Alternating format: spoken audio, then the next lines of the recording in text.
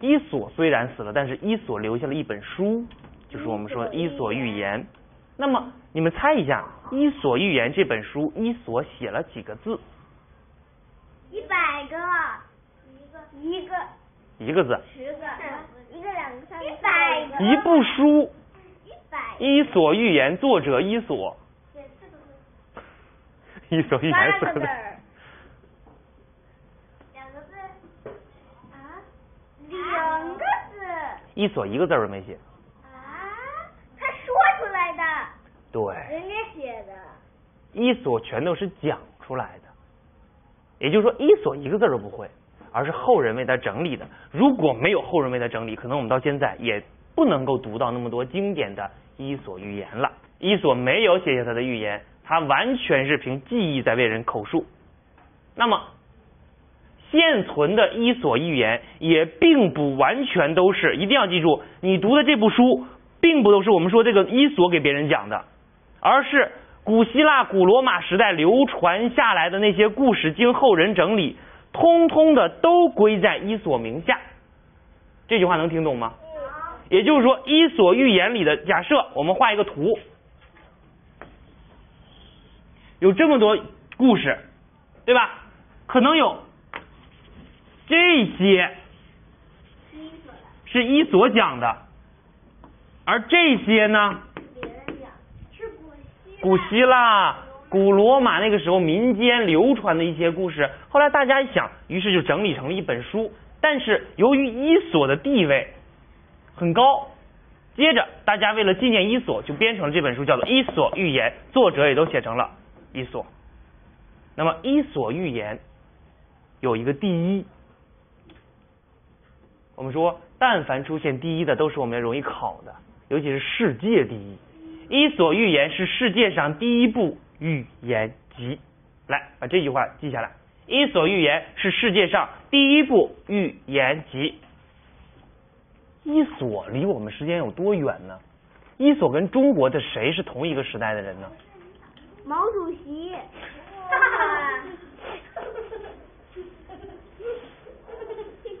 其实，伊索跟刚才我们讲那个庄子，他们两个是同一时代的人。那你但是你会发现一点，你其实你能从中发现什么呢？庄子那个时候也写寓言，对吧？伊索也写寓言，甚至于庄子也有寓言集，虽然很少，但是世界上第一部寓言集却给了伊索，而不是我们庄子。为什么呢？庄子已经很有名。啊，伊索没名，所以就给了他。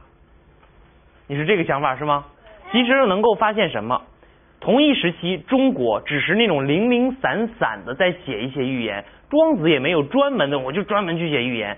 而伊索，你可以看到古希腊，我们说了，伊索寓言并不都是伊索写的，对吧？还有古希腊呀、古罗马流传下来的故事。那个时候，他们那里已经有了大量的寓言故事的存在，而后人就给整理起来了，是不是？来看，都想了吧？那我们说，伊索小时候没有人跟他玩，他跟谁玩来着？动物。动物。所以你会发现，伊索寓言大多是动物的故事，用动物来举例子，来教人做人的道理。那么，我们说了，寓言中最重要的就是这个道理，对吧？那么怎么来概括寓言中的道理呢？你读了一篇寓言，寓言最重要的就是给人讲一个道理，而不是说哈哈哈很好玩，那不是寓言，那是笑话。那我们来看一下农夫和蛇的故事，看过吧？看看过。嗯。啊，明白了吧？做不错？并且呢，它的蛇在外面呢，怎么还扔出外面去了？农夫和蛇给我们讲了一个什么道理？千万不要挑选冷血动物，要同情那个坏人。坏人。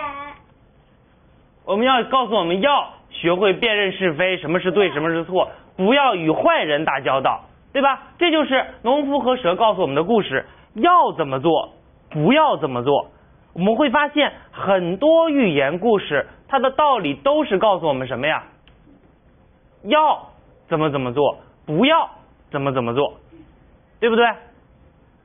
来看方法二，井底之蛙的故事。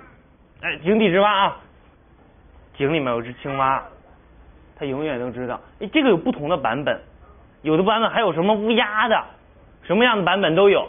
但是最重要的主人公肯定是只青蛙。然后他觉得，嗯，天就这么大，他觉得就这么大，他觉得很舒服。然后，总之，不管来了一个什么动物，乌龟也好，小鸟也好，乌鸦也好，告诉他怎么样，外面的世界很大，有的人告诉他大海，有的告诉他天空。那么，井底之蛙告诉我们一个什么道理？不要目光短浅，不要目光短浅。不要目光短浅。有很多事情你都不知道。所以说，井底之蛙不是告诉我们怎么做，而是他在说一种人非常不好。哪种人？就是目光目光短浅的青蛙。不错，所以说是讽刺了那些见识短浅而又盲目自大的人。青蛙啊，我怎么怎么样？我觉得过得很好，是这种人。那么方法二就是讽刺了什么什么样的人，就是说什么样的人不好。讽刺两个字是什么意思呢？就是。批评，批评大家知道吧？最怕老师批评了，对吧？对。批评和讽刺的区别在于，讽刺是用了是啊，就是用一句话中的意思来，就是来就是话里刺的油话。给你讲个故事，话里藏话。讽刺的意思是说用了夸张这种夸大的手法来批评一个人，来嘲笑一个人，叫讽刺。那么讽刺了什么什么样的人，这种也是。方法二，其实所有的这些方法，并不是你用了这两种方法就一定能够知道这个寓言讲了什么道理，甚至于我们说《伊索寓言》里的有些道理，并不是一定我们现在说，哎呦，我一看，嗯，我就要按照《伊索寓言》来走，毕竟它是离我们很久，两千两百多年以前的那个时候的事情。那么，一，那么到底应该怎么做呢？首先，拿到一篇寓言。第一个字读，读完了以后，我们就要分析，这里都有谁呀？有哪些人物？哪个人物是好的？哪个人物用我们最简单，你们最爱分别就是好的还是坏的，对吧？然后我们就知道，那我们应该怎学谁，不应该学谁，而讽刺了哪种人，那个坏的那个是哪种人？其实有时候想想，我们这么一读就明白了，对吧？好了，来，我们接着来看狐狸和葡萄的故事。这就是寓言，狐狸动物吧？我们是不是说了，寓言故事里经常出现什么呀？动物用了什么手法来着？拟人。拟人手法。来问个问题，狐狸是一个什么样的人？狡猾。不要一想到狐狸就是狡猾，看这里面狐狸是一个什么样的人？笨蛋。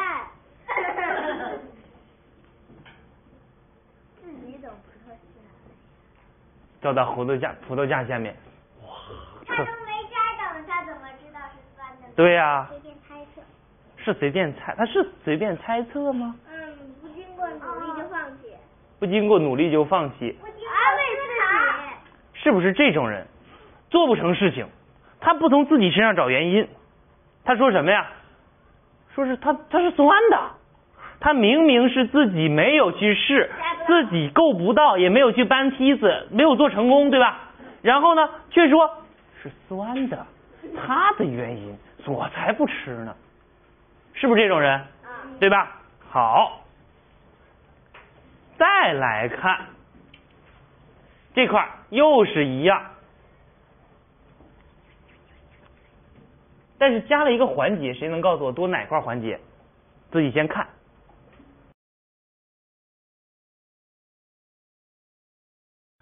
别的同学看到了吗？是这块吗？看到了吗？看到了吗？是不是他这块有了一个一次一次跳起来摘葡萄，然后但是没有得到葡萄，他还又说我敢肯定它是酸的，又是这个样子。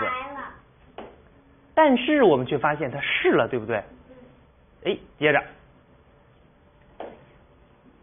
正要摘葡萄的孔雀说了，既然是酸的，那就不吃了。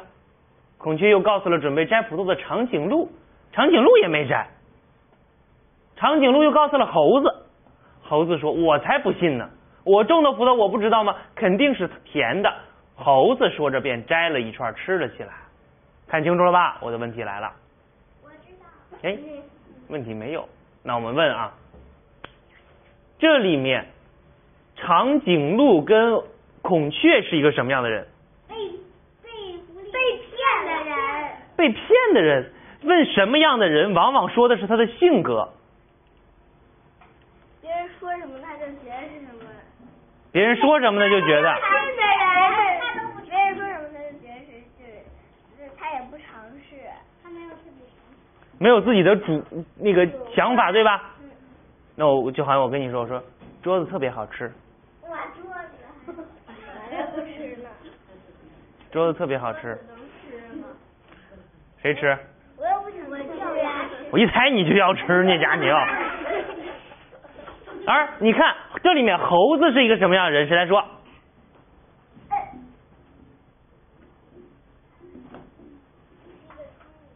聪明的人。不对不对，大胆尝试。不错，大胆尝试的人，看明白这块了吗？那我们可以看出，从文章中是不是大家分析出他是一个什么样的人了？你只要根据他做了什么来看就好了。再看一篇寓言。这个是我们三年级会重点学的一一节课，叫做呃，我们在三年马上二升三暑假的时候就会上一课，那叫。希腊神话里的三个人物。什么？我说的是古希腊。对，古希腊神话里的三个人物，他是古希腊的一个万神之神。啊，我他手里拿的是宙斯。宙斯，他手里拿着什么呀？宙斯的武器是闪电。咔，闪电。这个呢是他的儿子，这个呢是他的妻子，就他们三个的漫画形象。他的妻子叫啥呀？来，一会儿你知道，他的妻子叫赫拉，他的儿子叫赫尔墨斯。赫尔墨斯啊，他是一个神，他是一个神呢，他就有一天想，人间该有多么尊重我呢？他于是就噔画成一个凡人。你看，他现在是一个凡人，别人知道他是神吗？知道。因为刚才已经说了。不知道。知道吗？不知道，对吧？因为他化作了一个凡人，对于是去了。哎，一看自有一个那个什么雕像，全都是摆了很多雕像，大家看过吧？各种各样名人。他先是看到宙斯，他的爸爸。这个雕像者问他多少钱呀？雕像者说一个银元。看清楚啊，一个银元。接着赫尔墨斯又笑着问道，一抬头，哎，赫拉的，他的妈妈。赫拉的雕像值多少钱呀？雕像者说还要贵一点，就是一个银元贵一点。赫尔赫离赫尔墨斯这时候知道，哦，原来我的爸爸值一个银元，我的妈妈值再多一点。接着赫尔墨斯看见自己的雕像了，心想：我是一个神，就是他是专门来保护商人的。宙斯给他的权利就是去保护商人。他一想，人们得对我尊重一点吧。于是问道：“这个值多少钱？”他这个时候的心里面，你觉得他想要什么样的答案？他对，他爸爸比妈妈的再三个银元，再贵，就是比他妈妈的那个钱还要贵一点。啊，他希望甚至于说好几千银元，甚至于可能说这个不卖，这个雕像我们是要珍藏保留的，这是他心里想要的答案，对吧？然后他就问了：“这个多少钱？”雕像者说：“这个呀，假如你买了刚才你问的那两个，这个白送。”就跟好像跟跟跟那个伊索比较像，这是白送，买这是买二送一，买宙斯和赫拉送他。哇，他听的这时候表情很难很难看，然后这个时候找个理由说啊好，有点事你就走了。来，我们来说一下，赫尔墨斯是一个什么样的人？要面子。要面子。有面子，特别想让人尊重的，特别想让人尊重，像十全十美的人，十全十美，自以为是。自以为是，很自大的一个人。他觉得自己太就我这种人怎么着也得卖个多少多少吧？他是不是很自大？这个预言告诉我们什么？就相当于告诉我们一个什么道理？千万不要自大。对。想一想，第一个道理告诉我们要怎么怎么做，不要怎么怎么做。第二个方法是讽刺了什么样的人？讽刺了那种自大的人。讽刺了什么样的人？自大的人。讽刺了什么样的人？讽刺了。讽刺了的人。这个。是不是讽刺了那种自大的人？我问一下啊，我我想听一下你们啊，这个三年级讲过这块儿，讲过这块儿的时候讲什么呢？是让他们写作文，后面接着写个结尾。啊。如果让你写结尾，你觉得会后面会发生什么？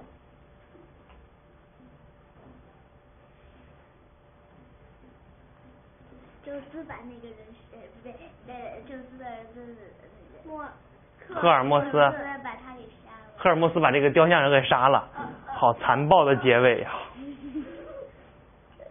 还有没有？我想知道你们，如果让你写个结尾，你会写什么？那那个宙斯很善良吧？宙宙斯随便。善良。我给你们说几个啊，有一个学生这么写的：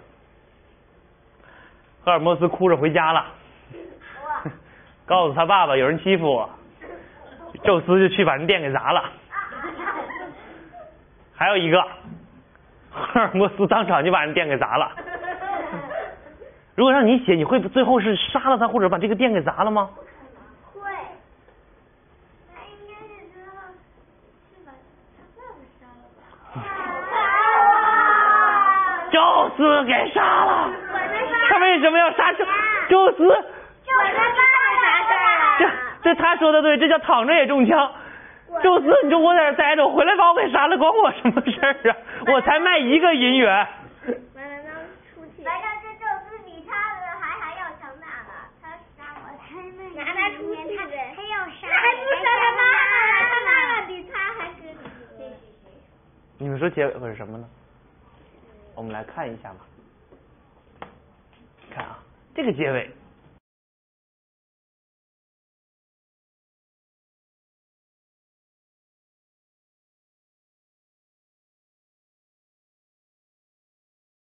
你们说是因为宙斯和赫拉的神职高才受到尊重，卖的贵吗？是。而是什么？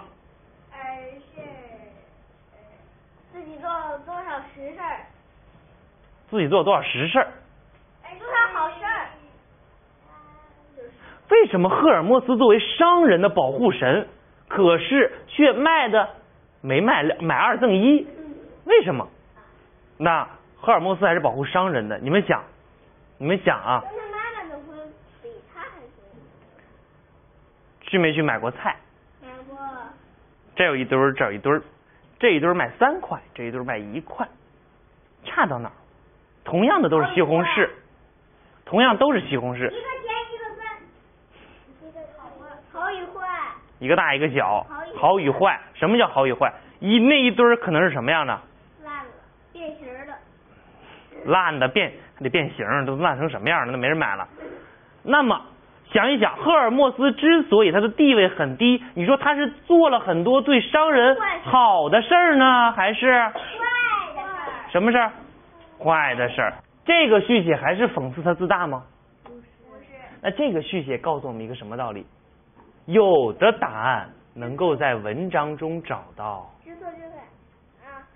尊重你，你做的事少，就算有再高再大的职位，人们也不会尊重你，对不对？所以说，有的答有的答案我们可以直接就在文章中找到。那么，我们来再看一篇寓言故事，《伊索寓言》里有很多经经典的故事。那么，这个寓言故事是蚊子和狮子的故事，狮子和蚊子。来说有一天啊，也是在一个大草原上，狮子呢。万兽之王，然后在那里他觉得，哎，我在这片草原上，所有的动物都怕我，我是最伟大、最了不起的国王。这个时候呢，太阳渐渐升起来了，怎么样？热。于是天气太热了，狮子决定找个地方休息一会儿，来到了一个树荫下面，打算睡个午觉。这个时候你们猜谁来了？蚊子来了。狮子大，蚊子大。狮子大，狮子大。狮子大，蚊子大。狮子大。狮子大？嗯。确定？嗯。狮子大吗？那蚊子能有蚊子要有那狮子那么大，我们夏天就不过了。这个时候呢，嗡嗡声，狮子一看，原来是一只蚊子在它头顶上飞了。狮子不高兴了，说：“你滚开，讨厌的小虫子，打扰我睡觉。”蚊子还被激怒了，哎，你可恶的家伙，你敢驱赶我，我要吸你的血！狮子，小东西，你这么小还敢向我来挑战？说你不认识我是谁吧？我是鼎鼎大名的百兽之王狮子。我打败了无数强悍的对手，至于你这小小的蚊子，两根手指就能把你捏扁。如果你是蚊子，你会怎么办？咬它。咬它。蚊子就说了：“别看你长得非常高大，然后还说你是一个无能的蠢家伙，想打架吗？用牙齿咬还是用爪子抓？狮子肯定是不是用牙齿咬，用爪子抓，对吧？说女人打架都喜欢这么干。”狮子怒了。狮子生气了，狮子会怎么样？吼一声。吼一声，然后呢？然后上天去把它狮子不会飞，我没说飞，狮子肯定很生气了，于是就要去抓这只蚊子。你说狮子抓住这只蚊子了吗？没有，它老是飞来飞去。夏天你们被蚊子咬过吧？咬过。蚊子最令人讨厌的地方。吸血。我最讨厌蚊子不是吸血。有的时候我就想，我给你一只胳膊，你今天晚上喝，你吃个够吧。我最讨厌就是它在我旁边叫。然后蚊子你会发现，你开了灯以后，你去找它，找不到。特别难以抓到，对不对？你觉得大狮子它想抓一只小蚊子容易吗？于是就这样，它特别生气，狮子蚊子就不停的激怒它，不停的激怒它。哎呀，你你你像个女人一样，什么什么样？狮子啊，于是去了，抓不到，飞被蚊子嘚飞走了。不能在这咬一口，一个包。过一会儿呢，哎呀，蚊子又这样，嘚儿咬一口。你们有没有？你们有没有那种感觉？有时候蚊子就落到这儿了，你有一种感觉，哎呦，蚊子在这儿呢。啪！没打到，是不是有有那种感觉？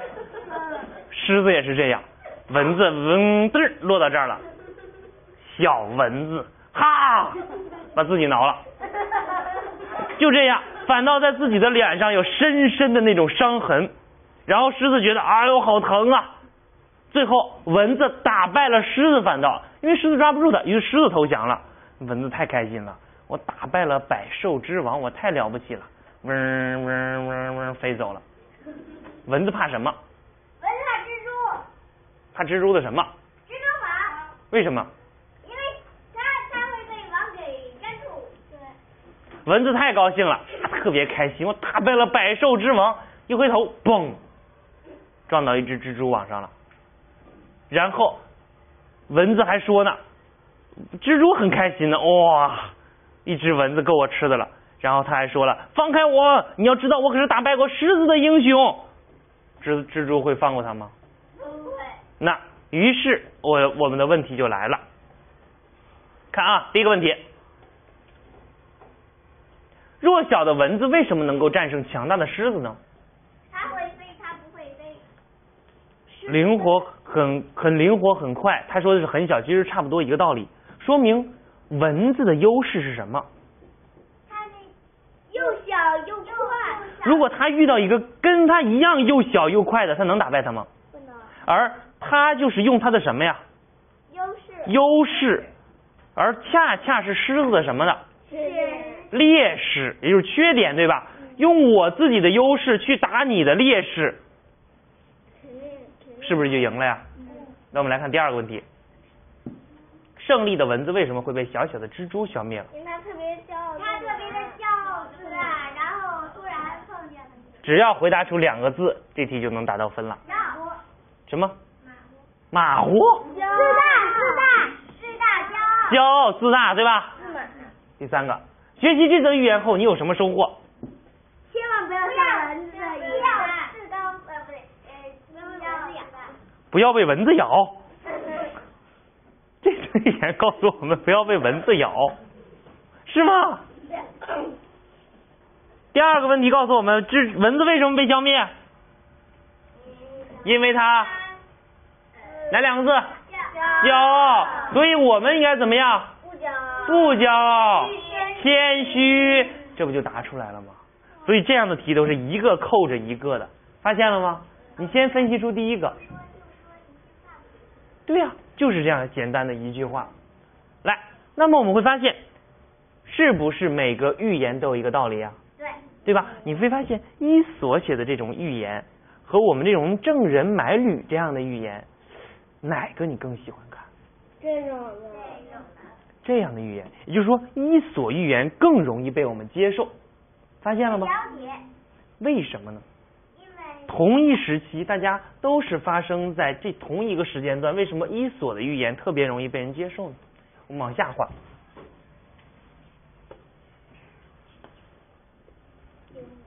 因为他能被这个小孩给听懂了，就是他一读就能懂。那中国的寓言呢？不好懂，特别难。什么？我们刚才说郑人买履那个故事，对吧？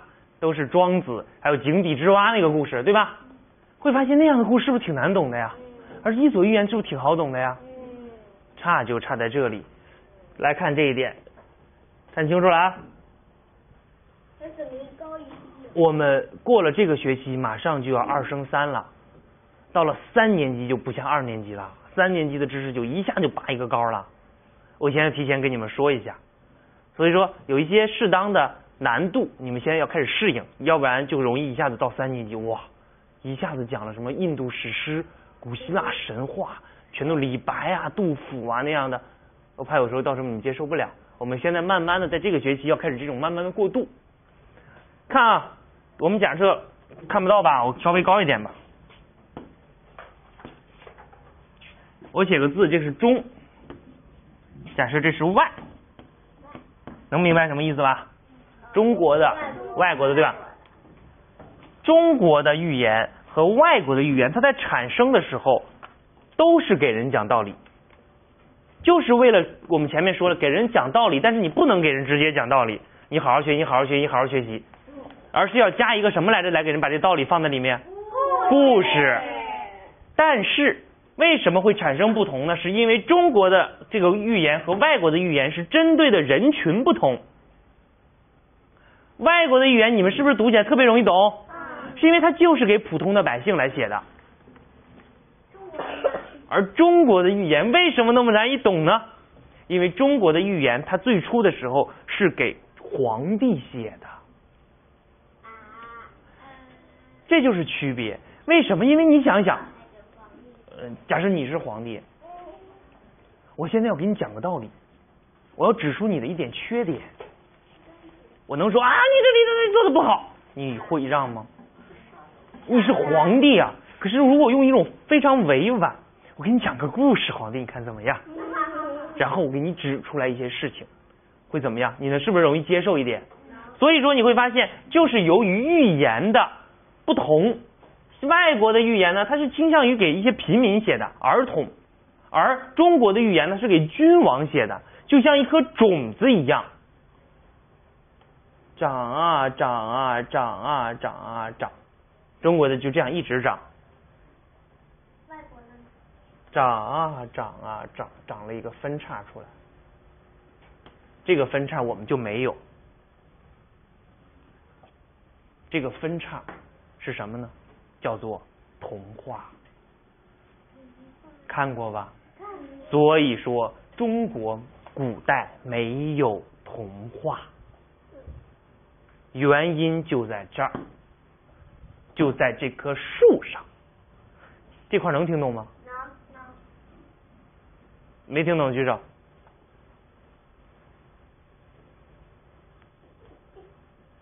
听懂了吗？确定？你看看，看啊，他创作的人群就不一样。我们来写作的时候，他就是给君王写的，这就不可能能够产生像童话。你给皇帝写童话？就不可能产生，对吧？他就是为了规劝别人，我去劝你怎么怎么样，我去劝你怎么样。所以说，就是一直都是预言，一直都是预言。而西方，你看它最初的时候就是那样，像这样的预言，你看这都是。大家回去，你甚至于都没有觉得这个这则预言离我们很远，是不是？这就是《伊索寓言》里面的，甚至于感觉，哎呦，这个好像离我们很近啊，平时都读，特别喜欢读。虽然时间很久，但你就觉得很喜欢读，因为它最初的时候，它就是来为普通人、为儿童百儿童们来写的。慢慢慢慢的，随着这种想象啊，就有了童话了。这不就有了另外一个分支了吗？明白了吧？明白了。那么，好，下面一个任务，打开我们练习册，我们要做阅读了。我们的今天的讲的课就到这儿了。